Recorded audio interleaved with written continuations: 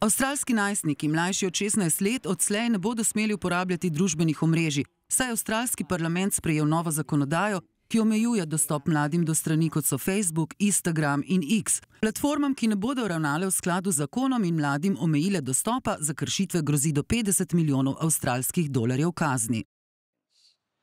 Platforme imajo zdaj družbeno odgovornost, da zagotovijo, da je varnost naših otrok njihova prednostna naloga. Trudimo se, da bi se mame in očetje danes in v prihodnjih dneh lahko lotili teh drugačnih pogovorov. Na vaši strani smo. To je naše sporočilo avstralskim staršem.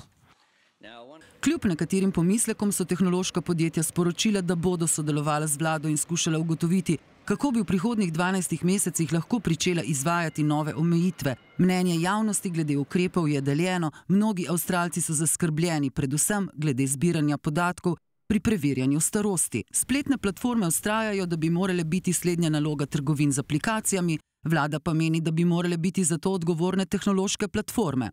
Menim, da je uporaba družbenih medijev nevarna, vendar ni bilo navedeno, kako se bo to izvajalo. Ne vemo, kako bodo zagotovili, da platform ne bodo uporabljali mlajši od 16 let. Menim, da je slabo tudi zato, ker lahko pomeni, da bo moralo veliko starejših avstralcev tem digitalnim podjetjem predložiti osebni dokument.